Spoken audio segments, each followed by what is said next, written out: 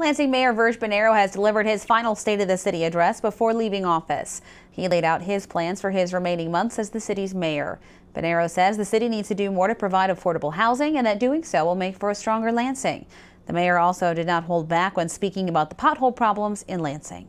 Like every Lansing resident, I am beyond frustrated with the condition of our local roads. And I am beyond frustrated with our state legislature, which continues to ignore the problem.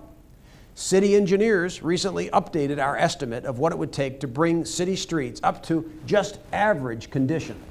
That amount is now a quarter billion dollars. That's more than we spend to run the entire city government for a year.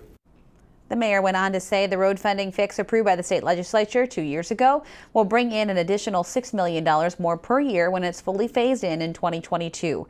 He also said the idea of getting rid of the state income tax is a dangerous and ridiculous scheme.